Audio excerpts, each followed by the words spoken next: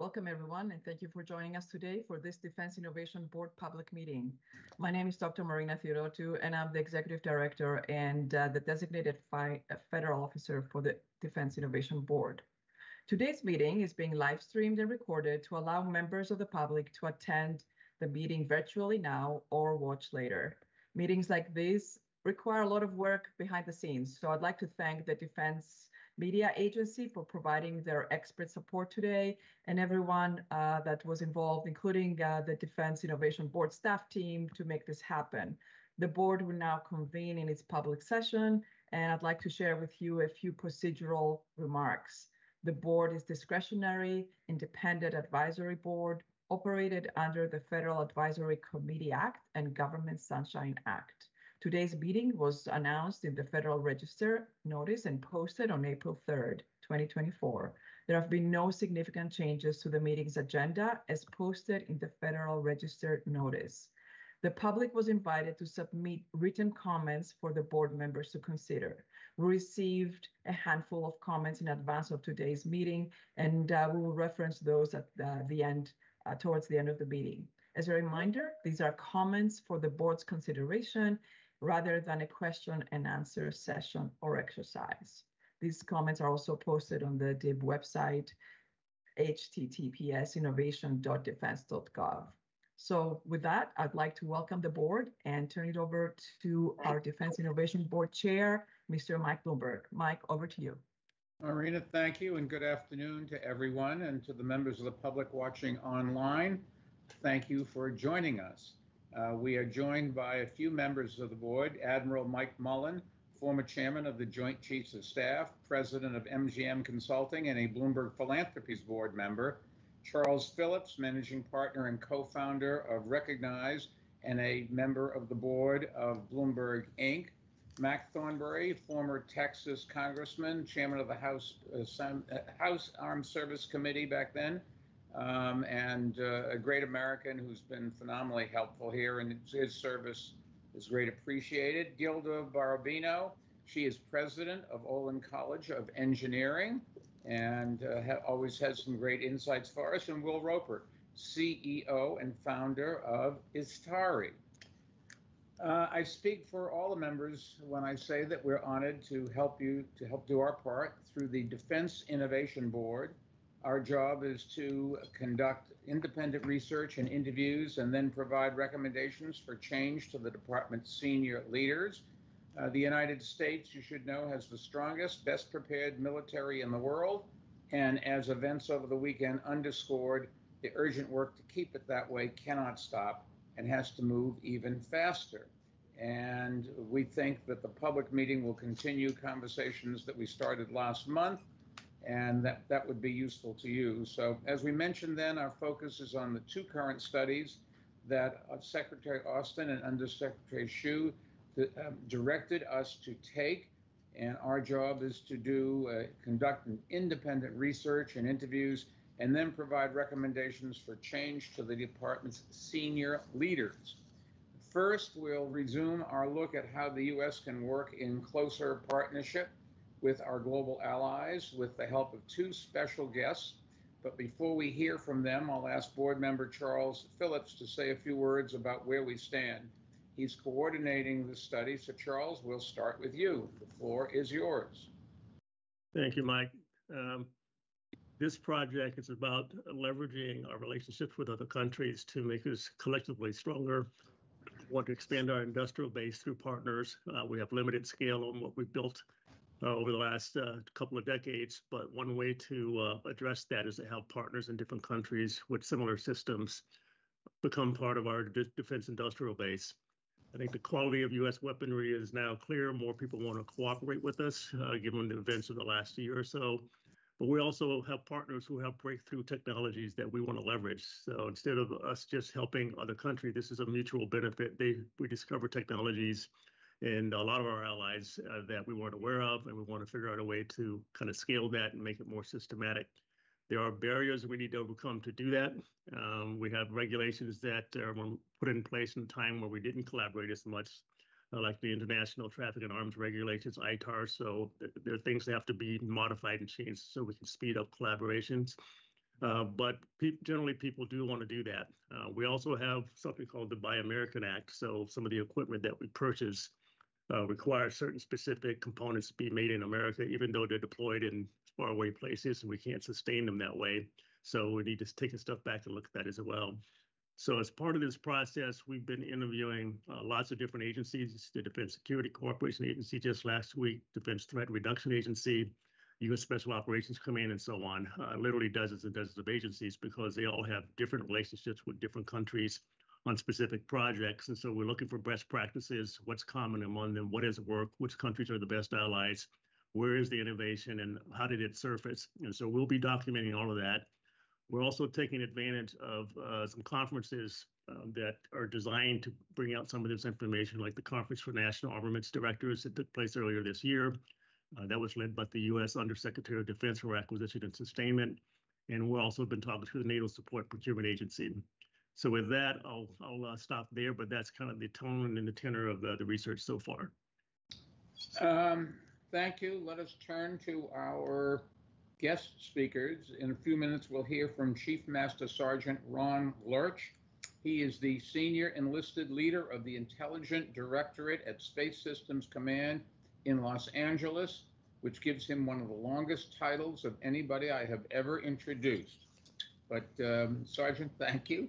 Uh, Ron oversees the Space Force's acquisition intelligence programs, and he is focused on instilling a culture of innovation. So we look forward to hearing from him. But first, let us welcome a friend from the Netherlands who has extensive experience working in his country's defense ministry. Throughout his career, he has worked closely with international partners and allies, and that includes his current role at the Dutch Embassy in Washington, D.C., and as chair of the Defense MOU Attaches Group, which is an association of 25 foreign ministries. Sonder, thanks for being here, and we're looking forward to hearing your perspective. Would you please say a few words?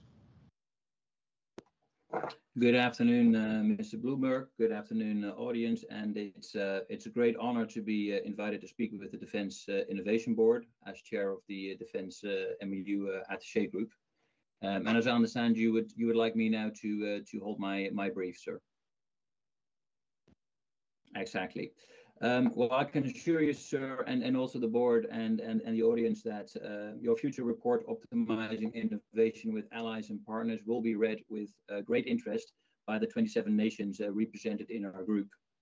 Uh, as we believe allies and partners do remain the most important strategic uh, asset to the, uh, to the United States.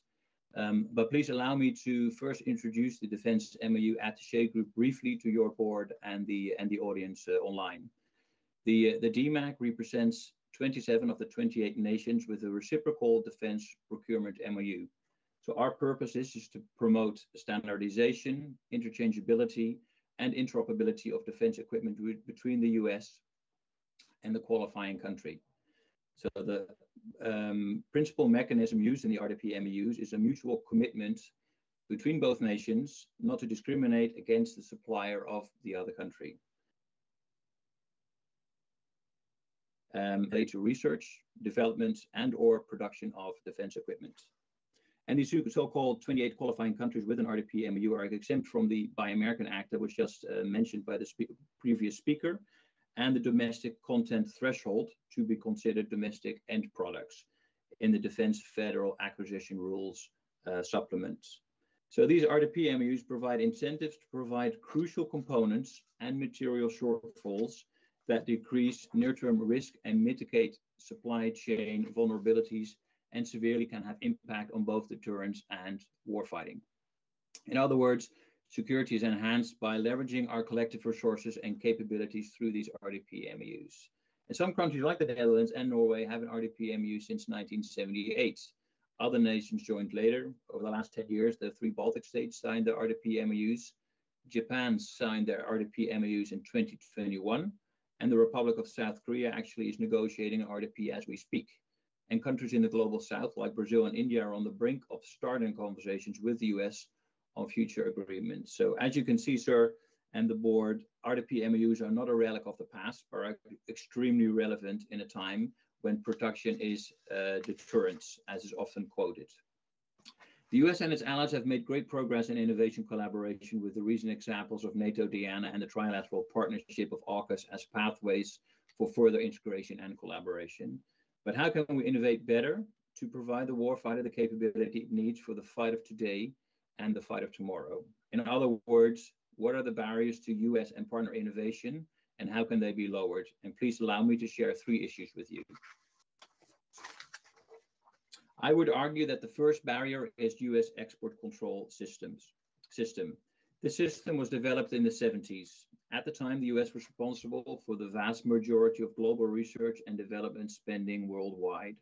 However, ever since, other countries, including US allies and partners, have recognized the importance of R&D to their industrial innovation and competitiveness. The vast increases in the investments by other governments and industries since the 70s has eroded the US technological dominance. And at the same time, the commercial marketplace is le leading in innovation in many areas of relevance to our national security. So I would argue that the US export control and technological security and foreign disclosure processes undermine the ability to collaborate effectively with allies and partners at the speed and at the scale needed today. The barriers to technology sharing from the US export control mean that the United States runs the risk of losing access to allied and partner innovation and production capability.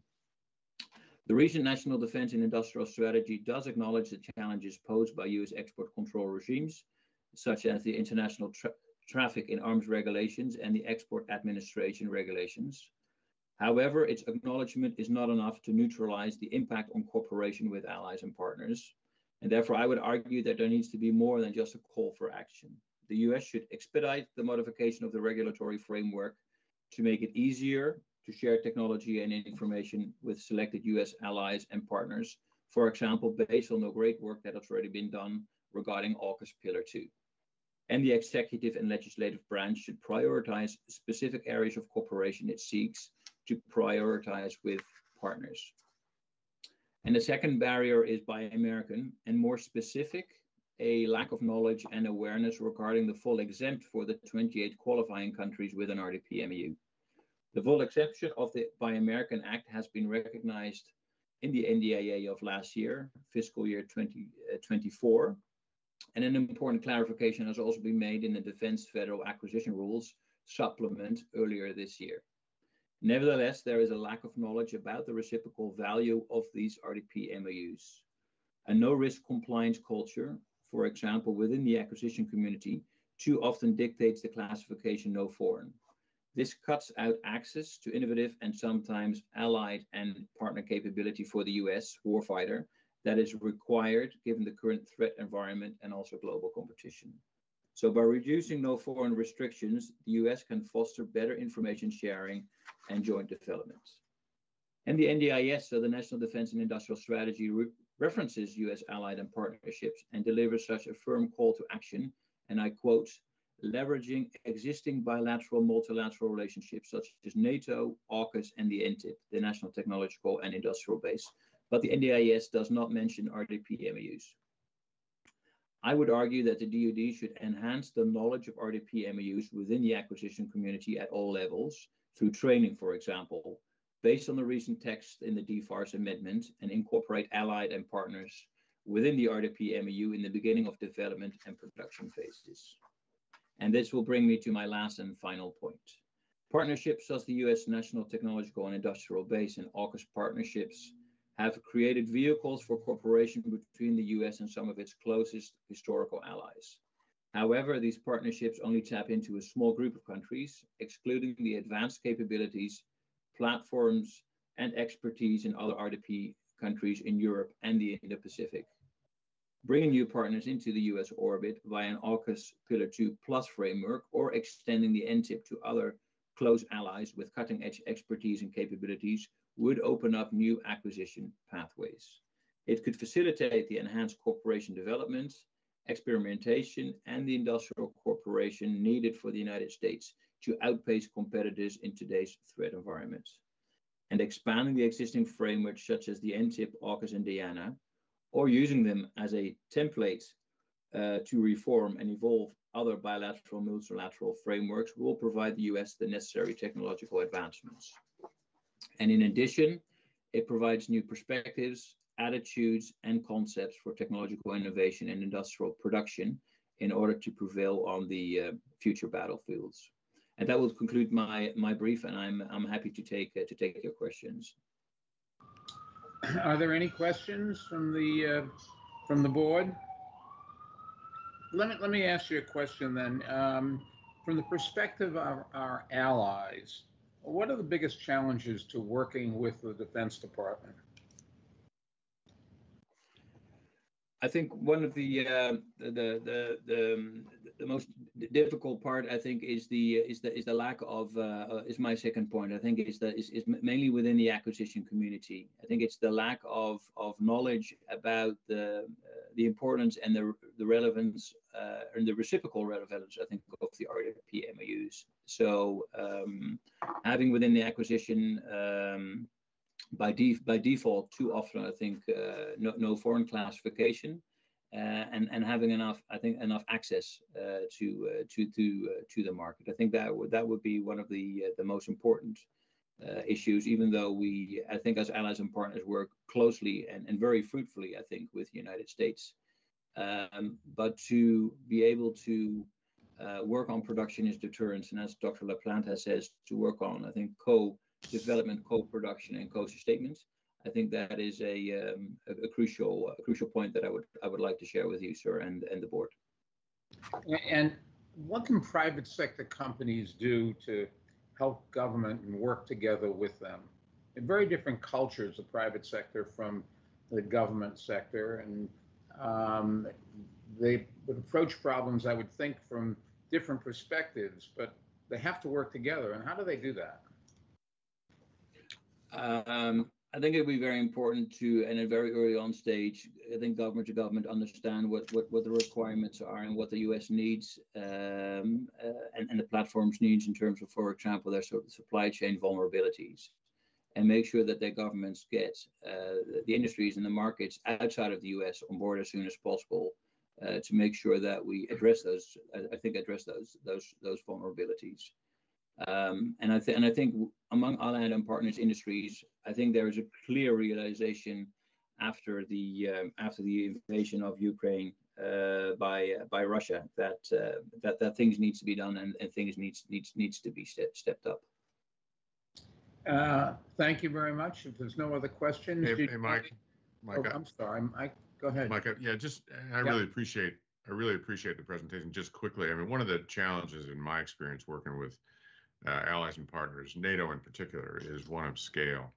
Uh, and uh, do you have any insights in terms of how you view where we are now, particularly with respect to Russia's invasion of Ukraine and the, the demand on capabilities, certainly in, inside NATO, on how we might scale capabilities better?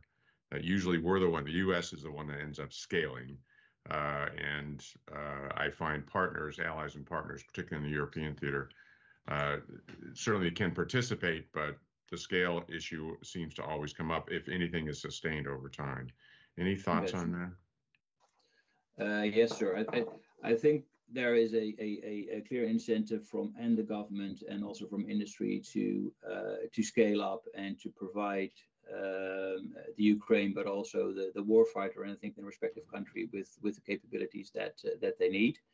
Um, and I think it's it it's requires a good discussion government to government, but also I think with uh, U.S. primes to um, to to work on co-production uh, also overseas, uh, where we could uh, also produce outside of the United States. And I don't think also only in Europe, um, but I think also in the in the Indo Indo, Indo Pacific. I think that's I think that's where uh, where we should be where we should be looking at. Thank you. Do, Any, do anybody else? One question from me, Mike. I, I, yeah. Is there any of the 27 nations that are under the MOUs that have a, a classification system that the U.S. ought to look at, meaning uh, having systems be classified for release to partners by default, as opposed to being classified as as no foreign and then going through a release process secondarily? That that I would that I would have to go back to the specific countries. I, I couldn't speak. unfortunately I couldn't I couldn't speak for the for the specific countries. Um, but for example, the the the three the two countries that uh, are working together with the United States in the in the AUKUS framework, they are part of this uh, they are part of this uh, this group, and they also have an RDP MOU. But that I think is something that I would uh, have to go back to the individual countries to give you their give you a right answer on that one. I appreciate that. We've talked about the the classifying things similarly to the intelligence community where you have things that are releasable to partners by default as a model to follow. But if any of the nations have uh, have cracked the code on this for acquisition it'd be good to to talk with them. I will i will take that as an action sir.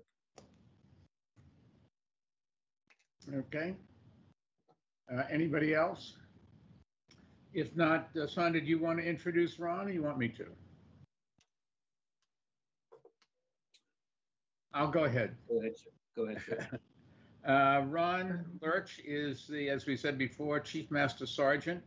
Uh, he is the senior enlisted leader of the Intelligence Directorate at the Space Systems Command in Los Angeles. And we're going to hear from him now. Ron, floor is yours. Good afternoon, sir, board. Thanks for the opportunity to speak today. Uh, over the next few minutes, I'm just going to briefly discuss a couple challenges. Uh, one, information sharing, and two, the need for government standards.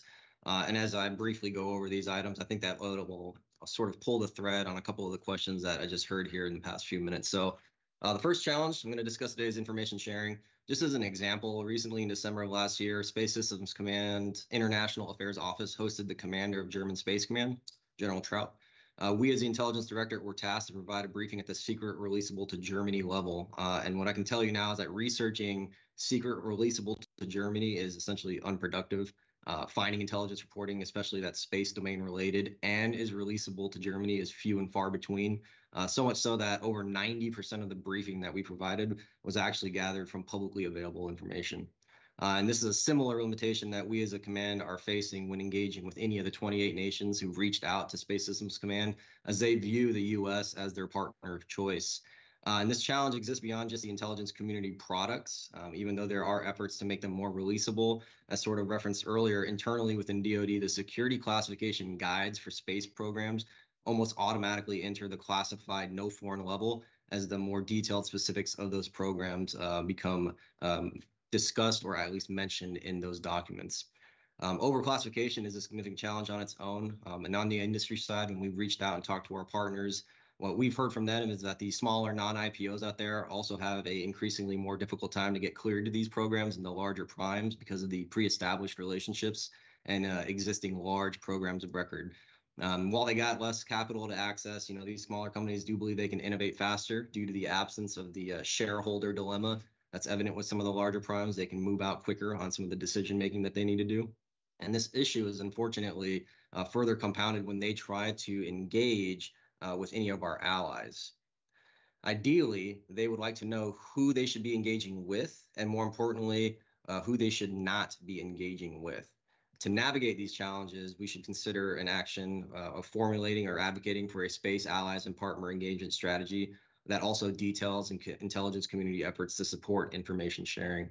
Uh, strategy like this could preemptively address the classification issues and create demand signal to the intelligence community, the IC, uh, for products that are releasable to essentially space allies of choice.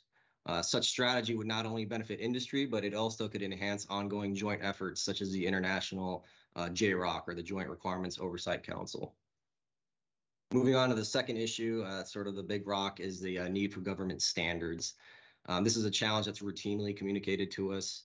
Um, this is rooted in the fact that we have the industrial base that's ready and willing to innovate in areas uh, such as spacecraft refueling, uh, but the lack of standards from the government is creating a void that can potentially be exposed by our competitors, leaving the U.S. to essentially play catch up. One of the companies I recently had talked with, uh, we were discussing how they had developed the concept for a refueling satellite, but the lack of government standard free from intellectual property was a significant barrier for them. Uh, their concern was if they commit the possibility exists the government will later create a different standard. And if they wait, a separate commercial standard could emerge that was later then backed by the government, uh, thereby locking it in as intellectual property, removing balanced and fair competition.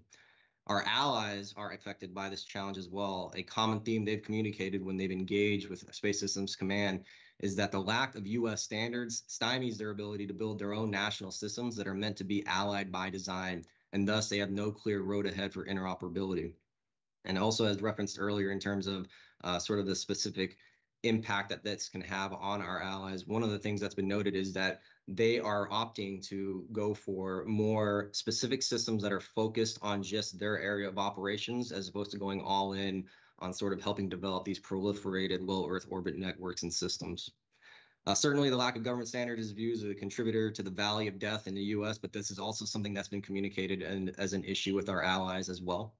Um, and so, as for actions for this, especially on niche areas such as I mentioned earlier for spacecraft refueling, uh, where the government could essentially be the only customer. The government really needs to consider developing fully intellectual property free standards and release them as soon as possible. Um, having these in place will be able to help us innovate domestically, and in turn, it's going to enhance our allies' ability to do so as well. Uh, so to summarize, uh, big rocks that I wanted to address today were just the information sharing piece and the need for government standards. Uh, this is essentially what stood out as the top challenges as we've talked and engaged with not just our partners in industry, but our allies uh, out here in LA. So advocacy in dealing with these is uh, undoubtedly going to put us on track to remain the premier space power for the foreseeable future. Um, and pending any questions, thanks for your time. And again, I'm happy to address any questions from you or the board. Ron, thank you. Any questions from anybody? Ron, the issue that you brought, oh yes, Gilda? About the government standards, like from your point of view, what is the appetite for that or the outlook, the positive or negative for really getting to the point where we realize having better government standards?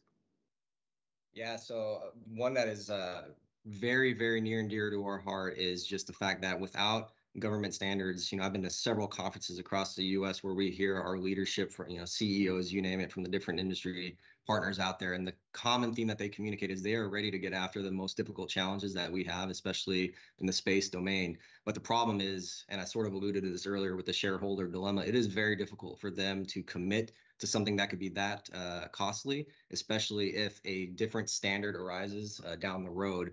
Uh, and then essentially it becomes out of their own IRAD or just their own funding that they basically have to cut their losses because a completely different standard shows up. And so they're hesitant to move forward and actually uh, achieving some true innovation and some critical areas that we need this innovation in.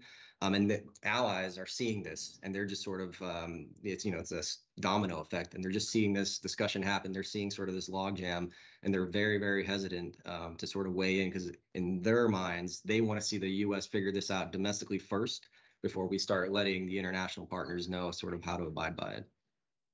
Thanks Thank you. One of the issues you mentioned before was uh, the private sector and the public sector working together where they have different standards and particularly on security.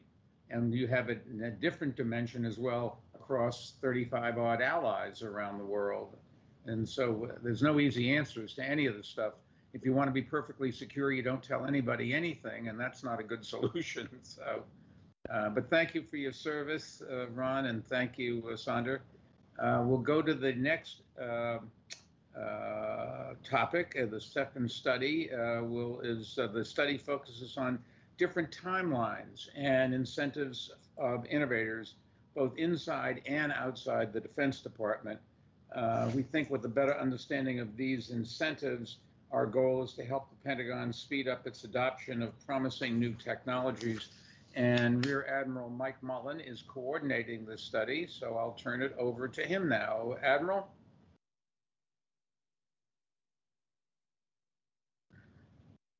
Mike?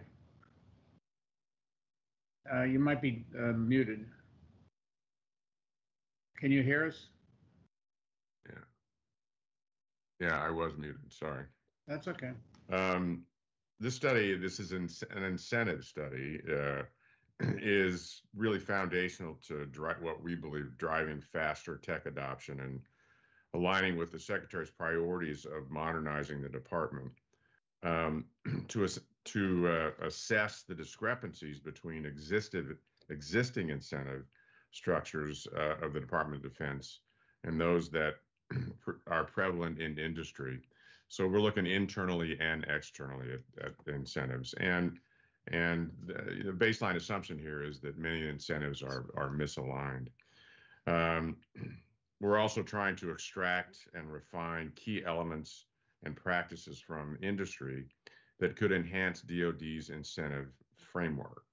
Um, we're also looking at a, way to formulate a comprehensive plan as a result of this study to effectively communicate and implement a realigned incentive structure. And finally, to look at quantifiable metrics, come up with quantifiable metrics to monitor and evaluate the success of aligning incentives among the various stakeholders, and there are lots of them. We're currently, where we are currently in this study is synthesizing information from academia, industry, the Department of Defense to develop a comprehensive viewpoint and distill relevant, actionable recommendations. The study has facilitated a, uh, four study group engagements. We've actually looked, uh, reviewed 43 different reports, conducted over 15 key stakeholder engagements with more than 30 stakeholders from various sectors, including the DoD, venture capitalists, small businesses, academia, and the acquisition community, uh, among others. Participants in this study include program executive officers, requirement officers, and members of innovation hubs and cells, encompassing both uniformed personnel and civilian employees, all at various levels. the next steps uh, we expect to, uh, that, and, and when do we expect to publish the results? The next steps are really for the remainder of this month. We'll, we'll persist in our engagements and gather further information. And from mid May to early June, really intensify the analysis associated with what we have collected. And then starting in June, we'll be basically writing the report, which will be published uh, on July 17th.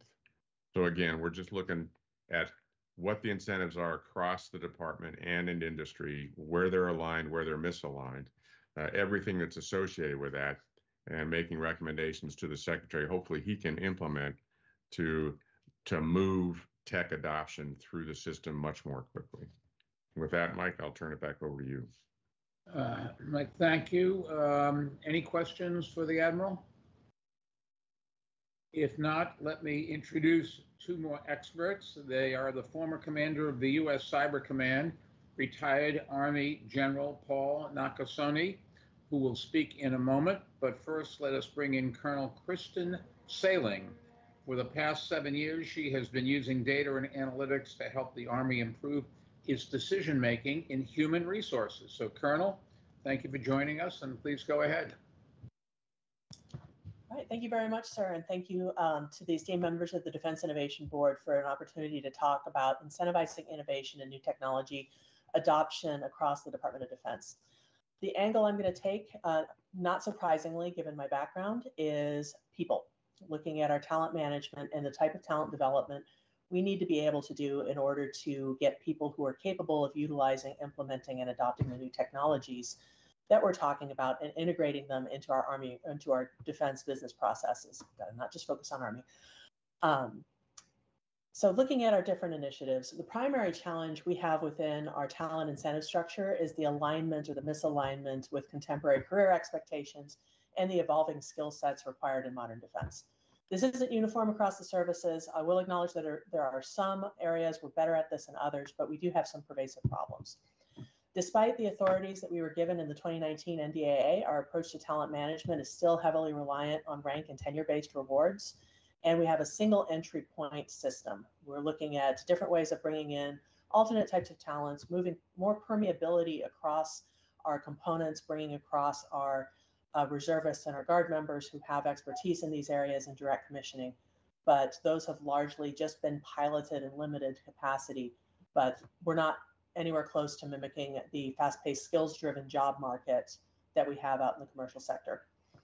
We are creating tools to make for more flexibility within our services for assignments and developmental opportunities, but largely this is seen as a detractor for our primary incentive, which is promotion and advancement. We are promoting people who go out and get diverse skills, who have other non traditional opportunities in spite of these opportunities rather than because of them. And this results in difficulty attracting and retaining top talent in these areas, particularly when we're looking at critical technology areas such as cybersecurity, data science, artificial intelligence, and as we're talking about here, in innovation. We don't, we don't adequately recognize or cultivate non-traditional career paths and skills, which are becoming more and more, essential as warfare and, and defense technologies evolve. We're seeing this every day. We need to be able to leverage and reward unique contributions of our technologists, particularly looking again at our civilian experts and our reservists, whose expertise can be absolutely pivotal in these times. We come up against the traditional approach, uh, rank, grade, and tenure. We don't necessarily know how to integrate folks coming in from outside of our system. And instead, we tend to look and lean towards seniority, the folks who have been there longer, who understand the business processes without figuring out a way to merge these two. To address these challenges, um, we're looking at a number of different things that we would need support to implement. Um, the first is looking at additional skills-based pay systems. We've been talking in Army compensation for a long time about figuring out more ways to uncouple grade and skill and moving to a model that better emphasizes skills and contributions. We don't have the freedom to align pay with market standards for specific skill sets, but we have to be able to prioritize aligning incentives to those we can in these very high demand areas. We're also examining the impact of non-monetary incentives, such as uh, choosing different methods of development, other additional skills, training with industry, post of choice, other types of things that we can offer without looking at the premium for um, for dollars, which constrain us heavily. Again, looking at um, flexible career pathways. As an entity, we need to be able to create multiple career tracks that allow for lateral movement between disciplines and recognize and reward cross-functional skills and expertise. This lets us not just you know reward the capability of our individuals, but lets us increase readiness by not having to stick uh, strictly along cohort and, and career boundaries, and let us uh, attract and incentivize talent with increased variety and diversity of experience, finding better fit for new emerging requirements as they as they show up. We want to enhance our professional development opportunities, investing in continuous learning and upskilling programs, especially in emerging technologies and credentialing. We're running into the same problem that um, the private sector is running into. The demand signal for some of these key technologists is greater than anybody can keep up with. So we have to find creative ways of cultivating these type of talents and skill sets within our own formations. We want to introduce project-based and performance-based bonuses for roles that contribute to critical projects, particularly in innovation and technology development, introducing these type of bonuses that reflect impact and success of these initiatives, which is something we haven't previously done. The last piece, we want to be able to continually modernize people and the way we think about people we have dabbled around this, at least on the Army side, and I've seen it in the other services with the Army Talent Management Task Force, the Army People First Task Force, Army Recruiting Task Force, and Recruiting Enterprise Transformation Initiative, and I could go on.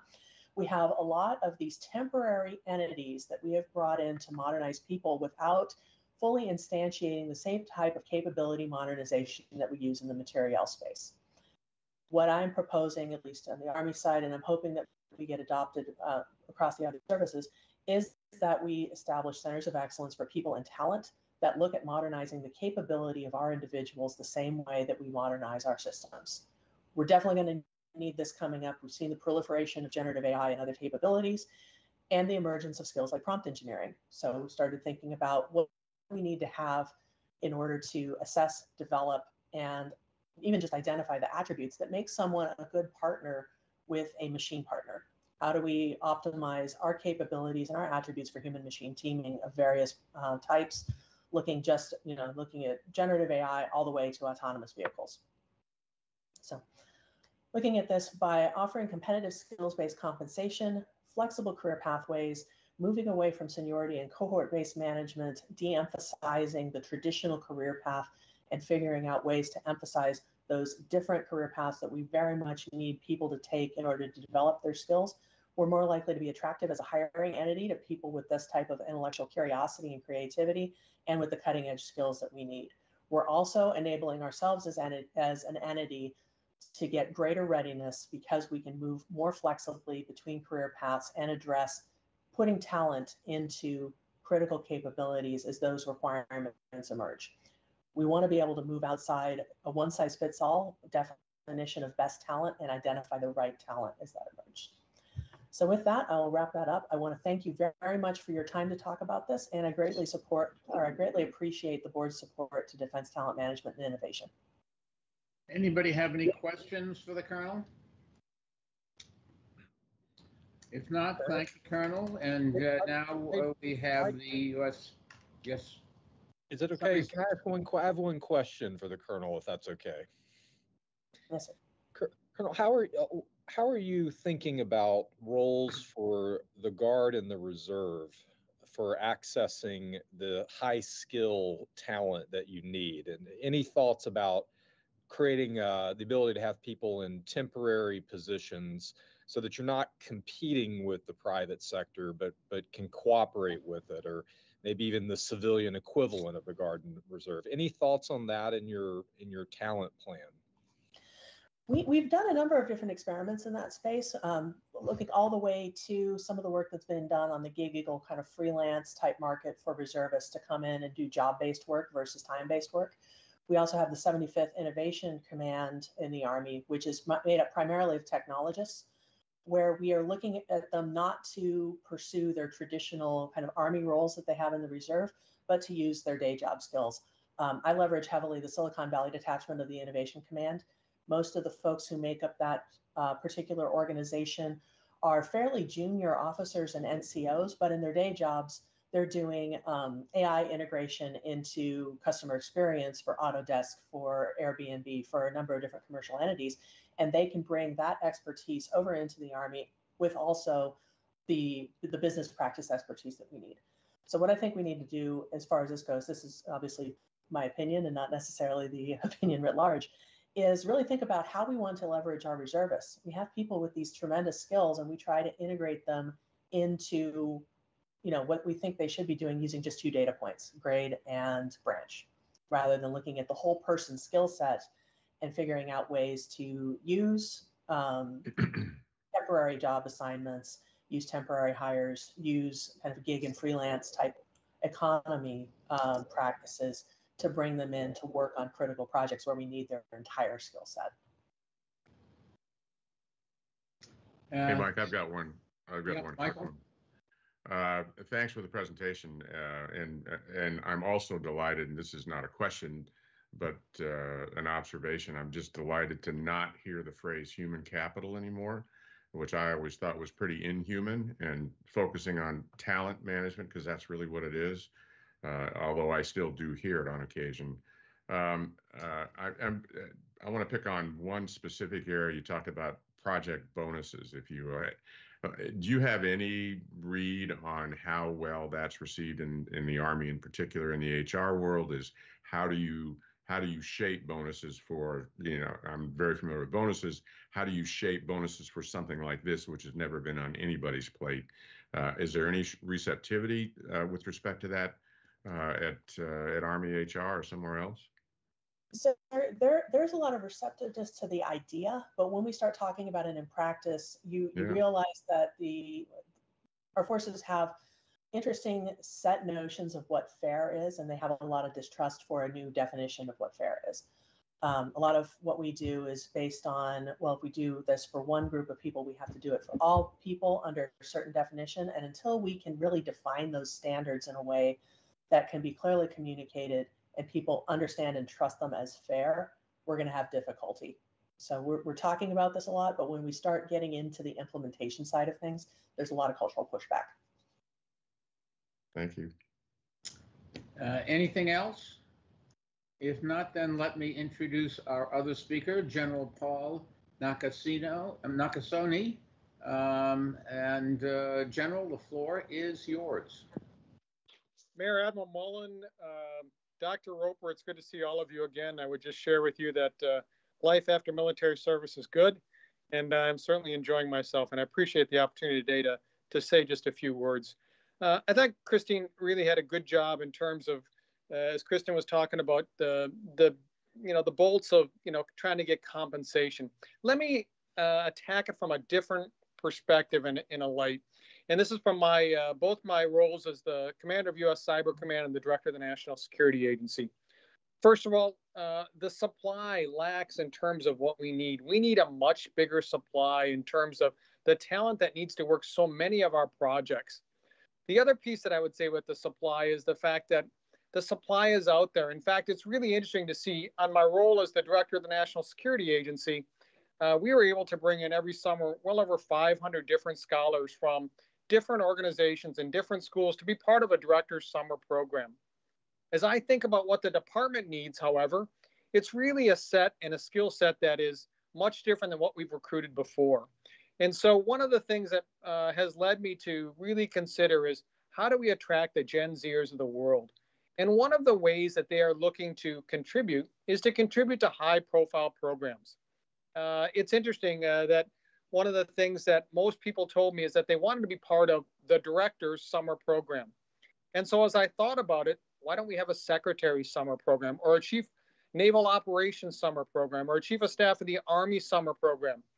The big piece of this is not only generating the supply, but also being able to fill the demand that's out there. Let me give you a statistic. Of the 500 people that normally took place in the director's summer program at the National Security Agency, we hired 70% of them. Mm-hmm. 70%, that's 350 new hires every single year. And what the exit surveys told us was the fact that they were interested in learning about our mission. They were interested in learning about where we work. They were interested in learning about being part of something that was larger than themselves. And part of that was also being able to expose them to what our agency did.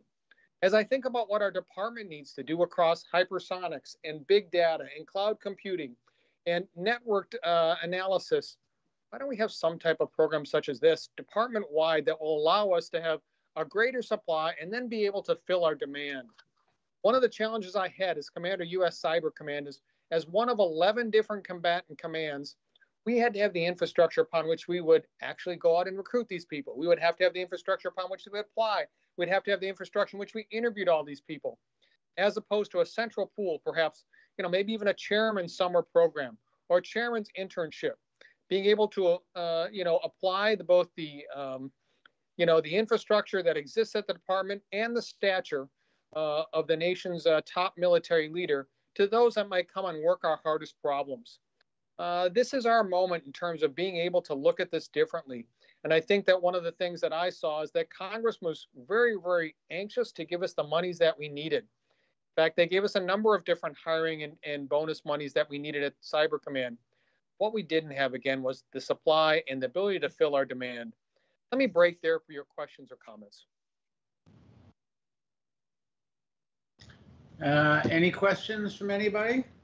Hey, hey, Paul, Mike, Mike Mullen, is this, yeah, is this uh, college kids, high school kids, mainly in the summer program? And how long was it?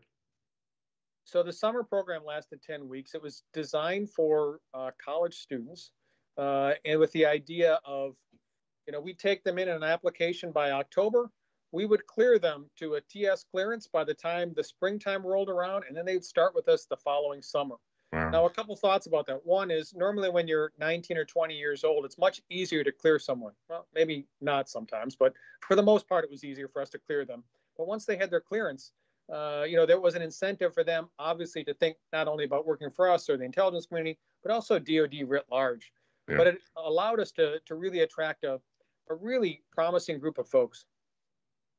Yeah, it's just terrific, terrific. General, anybody, anybody else?